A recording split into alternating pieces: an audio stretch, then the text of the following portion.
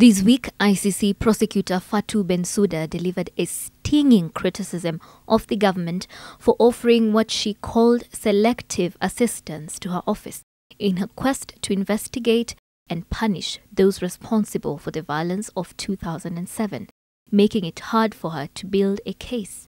Kenya's chief legal advisor terms her claims as baseless.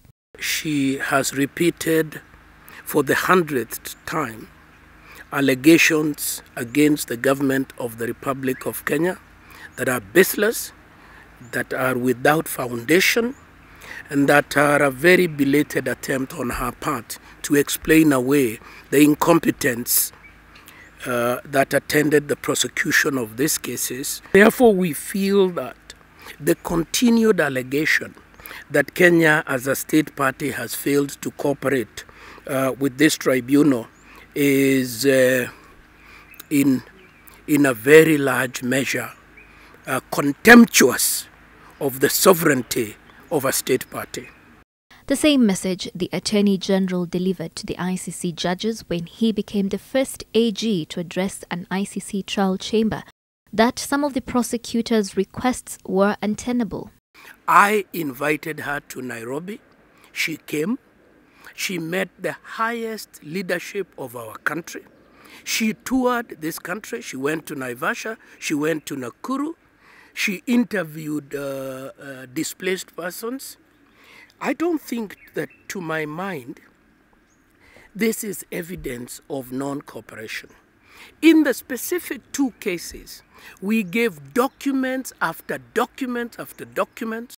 Bensouda said in a statement she hopes the government will fulfill its obligations under the Rome Statute and surrender three people accused of interfering with witnesses.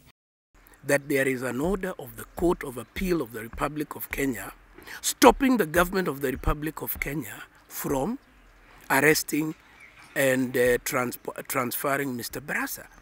How can they, she then call a press conference to say that she wants us to do that in spite of the court order, in spite of the judicial process? This is what gives me a little concern as to what kind of legal competence is available to the court. We should take our citizens, put them on a flight, and battle them to. We will never do that. That won't happen.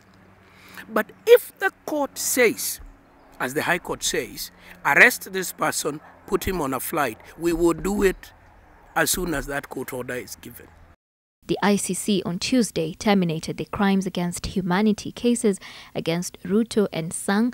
Judge Osuji cited witness interference and intolerable levels of political meddling.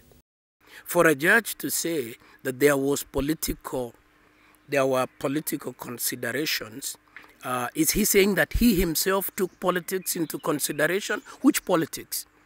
The politics of the big Western countries that want Africa taught lessons, or the politics of MCAs in, uh, in Nakuru or Naivasha?